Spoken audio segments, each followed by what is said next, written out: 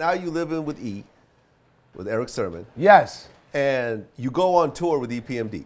Yes, I'm a I'm a I'm a tour baby, man. I'm a yeah.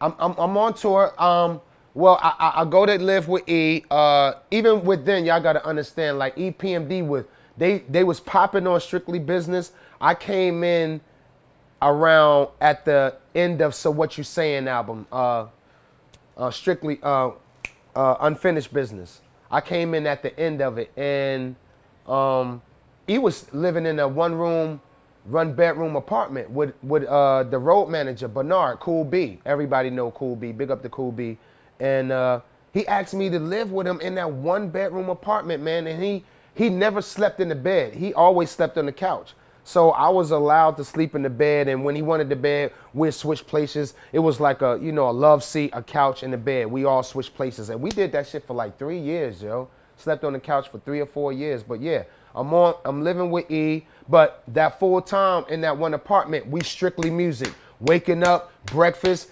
everything is right there in that one bedroom apartment, and we would bang out and go to the studio. We was banging, and I went on tour at a young age. I was like 19, 20. So I'm like a real tour hip hop baby. I ain't learned no morals and shit. I ain't learned all that shit you supposed to learn at 20 years old about morals, about women and respecting. I mean, I respect women always, but I just didn't learn all that shit. It was just moving so fast, you know? Yeah. So you had a, a freestyle that you did on stage, like an A through Z freestyle. Yeah. Uh, was that oh, it was the uh not a freestyle, but it was actually the verse from uh hardcore. That's what it was called. I think. Okay, yeah, I remember that. And uh, that was the rhyme from there. That really introduced Redman and shit. You know, I because I wrote that rhyme like that because of K Solo. You know, K Solo set the bar. You know, that's my brother too. Big up to K Solo. We born on the same day. That's why everybody thought we was brothers. And that is my brother from another mother. Bottom line, he'll bust his gun for me. I bust my gun for him, and that's brothers. And uh, you know, and he set the bar uh, with the spelling. And I was a new nigga, so I knew I had to come in. I just couldn't come in rhyming and shit, so I had to kind of set a bar. So, yeah, that was around from there. Okay, you're talking about uh, K Solo's record, Spellbound. Yeah, yeah. He was when he when E- when EPMD introduced him, he was spelling. So when they introduced me, I knew that I had to come correct on with a style or something that was catchy because he already had set the bar on as a new artist coming from EPMD spelling, and that's what he was known for. It was something new and fresh. It wasn't just rhyming, and he was murdering that shit. So I knew I had to kind of set a bar too, coming behind solo. So yeah, so that's why I, I was like kind of playing with the alphabets a little bit. Okay, so you're you're rolling with EPMD, and then it's time for you to drop your first album. Yeah. Yeah, um, rolling with EPMD, learning. Uh, even in between time, like I was, I was still hustling a little bit, but I wasn't as much. So, you know, I had to find means and ways to make money here and there. And you know, Biz Markie, that's my dude too. Like I've been knowing Biz for the longest.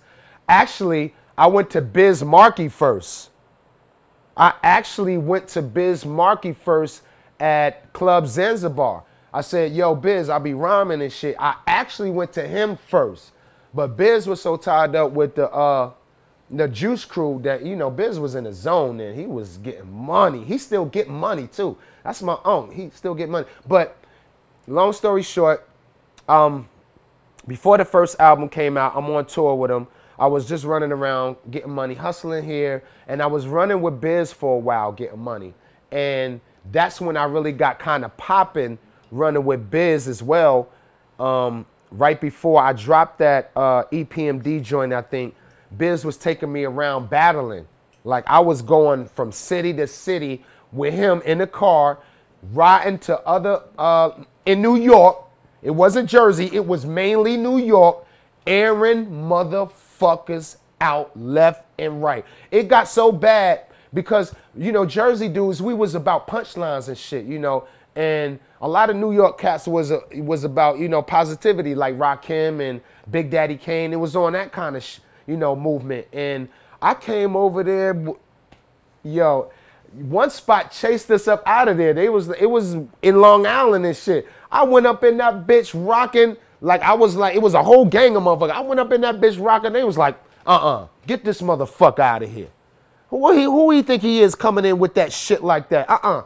Nah, nigga, we ain't nah, nah, get the fuck out of here. We ain't paying y'all. Fuck out of here, man.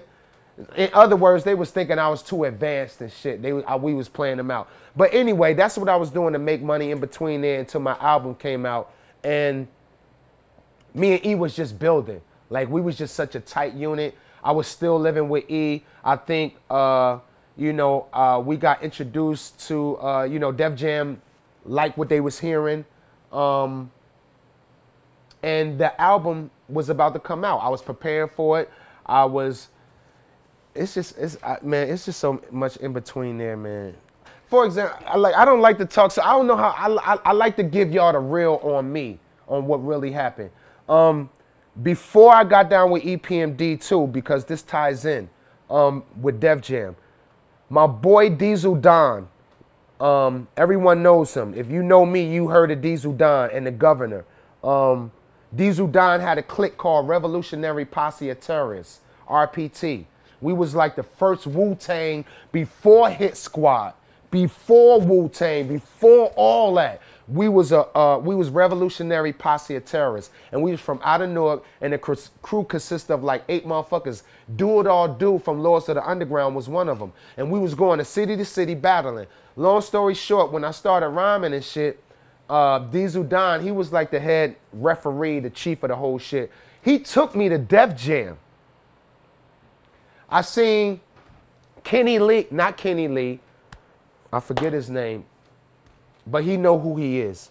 We went in his off. No, he came downstairs, listened to my demo in the car that I did a, a couple of songs, and said, "Yo, you dope, but we're looking for more of a third bass kind of feel, because third bass was ringing right right at that. Third bass was ringing the charts." And he was like, you know, we looking for a kind of third bass kind of thing. If you got a partner or something, I was like, you know what? Thank you for the opportunity. That's what ties into this. So now, when I'm about to come out with my album, before I came out with my album, we was getting material ready for my album to introduce me to Def Jam. I went back to that same office, to the same goddamn dude that I seen with my boy before I met EPMD. And he said, Yo, you the kid that was up here my, like a year ago or something, right? With your boy in the car. I was like, yeah, that was me. That was the same dude. And I, and I had kind of the same rhymes too, but just on EPMD beat. So long story short, they liked what they heard, and I got signed to Def Jam, and my first album came out.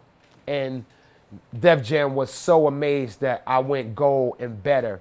They was like, how did this kid from Jersey go gold and better. Well, you know, Queen Latifah, Treach, Naughty by Nature, they was already setting the trend on going platinum and going gold. Like Naughty by Nature was banging the charts. So it was already a platform laid out for me and shit. So. Well, what was interesting about your album? Because because I bought you know I bought that album. Uh, like up until right around that time, like weed and hip hop didn't really go together. Right. It, it was like, you know, Dr. Dre would even, you know, said, I don't smoke weed or stress because that gives a brother brain damage. You know what I mean? And like even even in high school, b- before the album dropped, it was like the weed smokers was kind of looked at as kind of like the losers. Like the weed smokers would be just you know the dudes wearing the heavy metal T-shirts in the Yeah. back, and Uh-huh. it- it- it- you know you know what I'm talking Yeah, about. exactly. It, wasn't weed wasn't considered No. cool, and then Cypress Hill came out, and you came out right around the same time, right? Yes. Cypress Hill, you know, was LA, West Coast. They were the first ones to really embrace weed like that on the West Coast, I feel. But you were the first one out of the East Coast to really embrace weed. Is that Yes. is that a fair assessment? Yes, yes, and you you definitely that's why I fuck with Vlad. Um, first of all, I just did a show with Cypress uh, like last week, and uh, you know them been them been my dudes for over twenty years, man, and and you're so fucking right because my my first of all, Ice Cube is one of my mentors, besides Slick Rick and KRS One. Um, and I was so amazed over the first Ice Cube album, America's Most Wanted. And NWA as a group is is one of my top groups. Um, and when I heard Niggas for Life and America's Most Wanted, and I knew they was feuding. Um, if you listen to my first album, it's America Most Wanted influence. Mm. If if you listen to my album, it's Niggas for Life influence with the skits. No one on the East Coast was doing skits. Nobody. Nobody was doing skits on the East Coast. And I, I embraced that. I was like, I love what they're doing. I just want to add my East Coast flavor to it. Um, Cypress Hill. When I first seen them on the High Times cover, first of all, when I first heard their album, I was like so amazed of how they embrace the smoking shit as I did on my album. They just did it to another level and from a different culture. Gucci's absolutely the boogeyman of hip hop. Like it's just certain individuals you just know that at any given moment it could go left. Right. Gucci's one of them. T.I. is one of them. I told y'all that before. I don't know why y'all keep acting like T.I. ain't Gucci level crazy. Uh, maybe T.I. is Gucci, Gucci level crazy. Gucci might be T.I. level crazy. You you mean to tell me that if I walked up to your mother right in front of you and shot her in the face, yeah. And then I, I left the country and you could never, you can't get to me, you Hell wouldn't no. tell the police? Hell no, I'm, I'm, a, I'm where your mama stay at?